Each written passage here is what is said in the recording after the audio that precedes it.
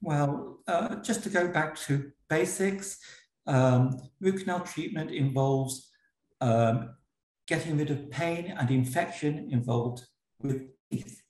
Um, and so uh, people come to us with problems and root canal treatment involves removing the nerve, removing infection, getting rid of symptoms, and ultimately saving a tooth.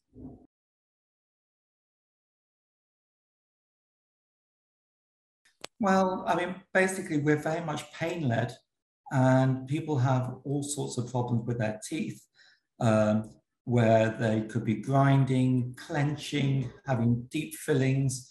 And as soon as bacteria gets into a nerve, it become, can become infected and painful. And our job is to get rid of that pain, that infection by root canal treatment.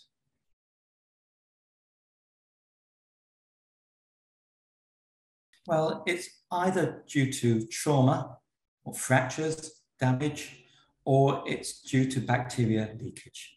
And the bacteria can get into canals very easily. And our job is to work our way into these little canals, these roots, removing nerve, removing bacteria, and getting the tooth infection free.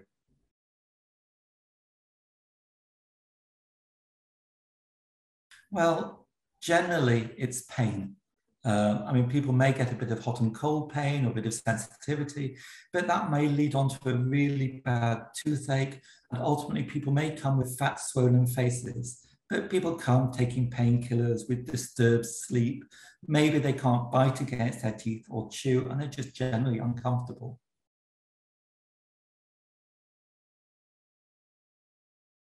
Root canal treatment is remarkably safe and very effective. Our job is to cut down on infection and ultimately to save teeth.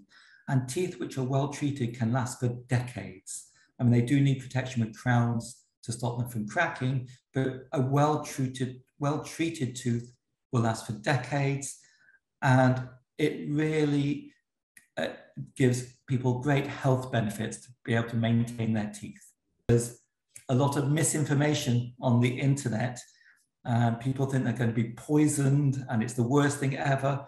And people sit in our chair and they fall asleep during the procedures because they're quite relaxed. And as for sort of the horror stories on the internet, basically you can go onto Google and find anything you want, and most of it is unscientific rubbish.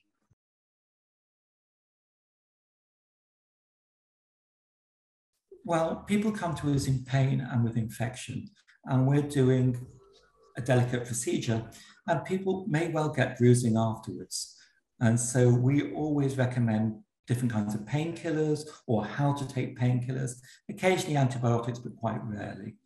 But people come in pain and the pain doesn't always go immediately, might take a week or so, but people get better all the time.